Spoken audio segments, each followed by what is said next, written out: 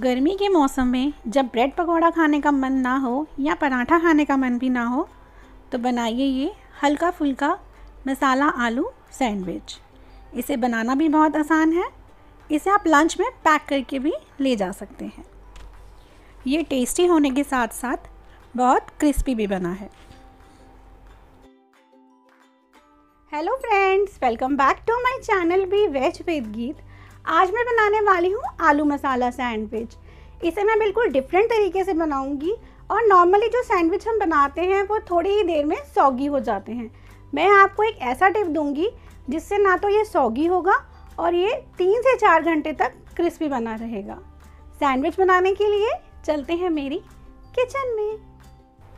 Sandwich बनाने के लिए हमें चाहिए चार से पाँच मीडियम साइज़ के उबले हुए आलू, हरा धनिया एक कटा हुआ प्याज, लाल मिर्च पाउडर, चाट मसाला, नमक, गरम मसाला, बारीक कटी हुई हरी मिर्च और सैंडविच की जान अमूल बटर।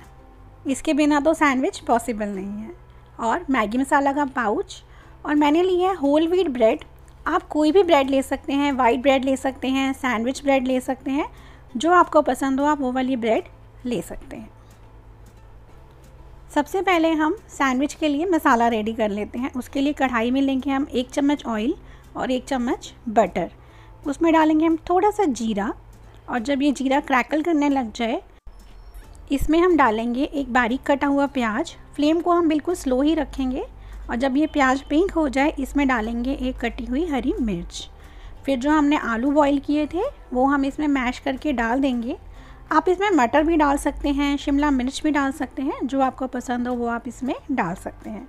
इसमें डालेंगे एक चम्मच नमक, आधा चम्मच लाल मिर्च, आधा चम्मच चाट मसाला, आधा चम्मच गरम मसाला और एक मैगी मसाला का पाउच। इससे इसका फ्लेवर भी बढ़ जाता है और इसमें बड़ी अच्छी सी खुशबू भी आती है। इसे अच्छे से मैश करते हुए हम मिक्स कर लेंगे। फ्लेम हमें बिल्कुल स्लो ही रखनी है, हाई नहीं करनी, ताकि आलू अच्छे से भून जाएँ। दो मिनट भूनने के बाद फ्लेम को हम ऑफ़ करके ऊपर से डाल देंगे कटा हुआ हरा धनिया और इसे अच्छे से हम मिक्स कर देंगे। मसाले को ठंडा होने देते हैं। तब तक हम ग्रीन चटनी रेडी कर लेते हैं। एक मिक्सी का जार लेंगे, उसमें डालेंगे एक मुट्ठी हरा धनिया। थोड़ा सा हम लेंगे पुदीना। और गर्मियों की स्पेशल चटनी बनती है कच्चे आम से।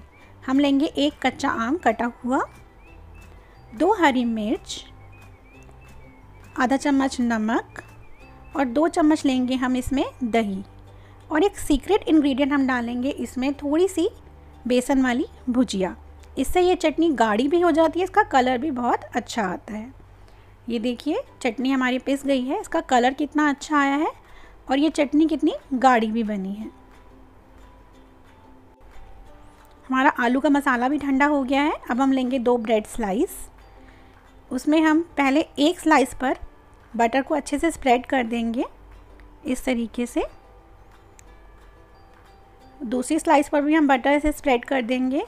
बटर की एक लेयर लगाने से सैंडविच सॉगी नहीं होता, क्योंकि इसके ऊपर एक लेयर आ जाती है आलू और ब्रेड के बीच में। हमने आलू का जो मसाला लिया था, वो भी अच्छे से ठंडा हो गया है। अब हम इस ब्रेड के ऊपर इसे स्प्रेड कर देंगे अच्छे से। चाहें तो आप यहाँ पे चीज़ भी डाल सकते हैं इसमें और जो मसाला है वो अच्छे से ठंडा होना चाहिए, गर्म नहीं होना चाहिए।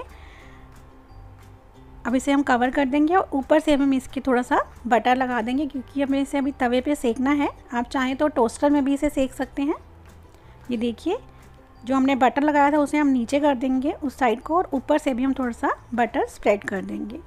फ्लेम हम बिल्कुल स्लो रखेंगे, तभी हमारा सैंडविच क्रिस्पी और टेस्टी बनेगा। इसे हम पलट देंगे इस तरीके से और दोनों तरफ़ से अलट पलट के हम इसे क्रिस्पी और गोल्डन होने तक सेक लेंगे। ये देखिए, सैंडविच हमारा सिक कर रेडी है। इसे हम एक प्लेट में निकाल लेंगे अभी। ये देखिए, सैंडविच हमारा सर्व करने के लिए बिल्कुल रेडी है। इसे मैंने ग्रीन चटनी और टमाटो केचप के साथ सर्व किया है। आप चाहें तो मियोनीस के साथ भी सर्व कर सकते हैं। वीडियो देखने के लिए आपका बहुत बहुत शुक्रिया। वीडियो को लाइक करें, चैनल को सब्सक्राइब करें और हाँ घंटे का बटन दबाना ना भूलें। बाय फ्रेंड्स मिलते हैं नेक्स्ट वीडियो में।